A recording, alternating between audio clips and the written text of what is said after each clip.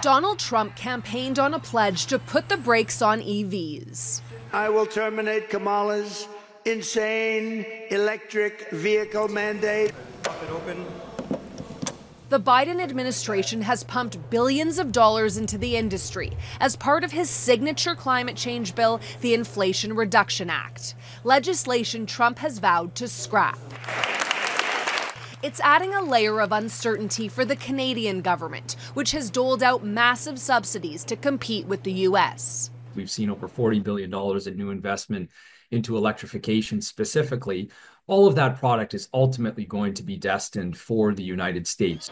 Canada's contracts were designed to align with their U.S. counterparts. One can decide: Are we going to? Is this is this a good opportunity for us to uh, quietly uh, drift away, or is it uh, the opportunity for us to, to double down?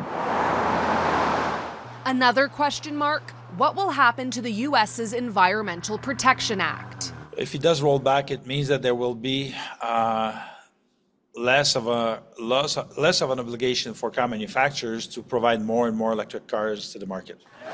But when it comes to climate change and clean energy, his billionaire backer could hold sway.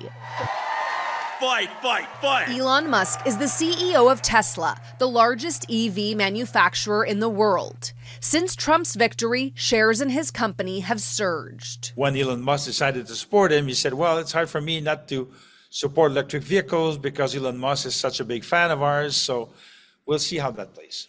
Trump may also face pressure to soften his stance from Republican states. EV battery plants are being built in Georgia and Tennessee, and governors don't want these projects or the jobs that come with them to disappear. Touria Izri, Global News, Montreal.